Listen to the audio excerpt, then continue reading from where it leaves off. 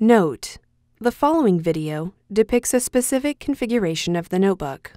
The same removal and replacement procedures apply to all configurations of the notebook. Before you begin, remove the base enclosure, battery, and smart card reader.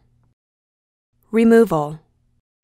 Important. Make careful note of the routing of the fingerprint reader board ribbon cable for later replacement. Using minimal force, lift the locking bar up on the fingerprint reader board ZIF connector and disconnect the fingerprint reader board ribbon cable from the system board. Caution: use care to prevent damaging the ZIF connector and ribbon cable. Remove the fingerprint reader board ribbon cable from the adhesive that secures it to the top cover.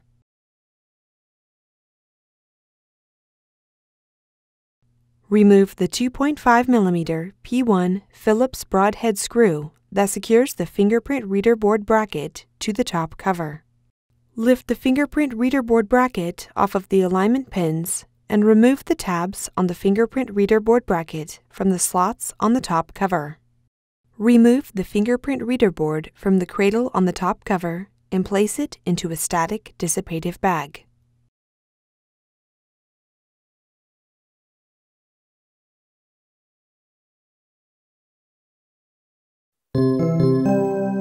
Replacement Remove the fingerprint reader board from the static dissipative bag.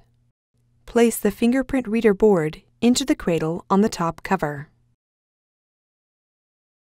Tow the tabs on the fingerprint reader board bracket into the slots on the top cover and lower it onto the alignment pins. Replace the 2.5mm P1 Phillips broadhead screw that secures the fingerprint reader board bracket to the top cover.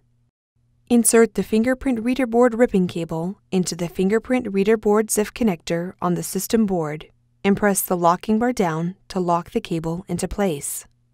Caution! Use care to prevent damaging the ZIF connector and ribbon cable.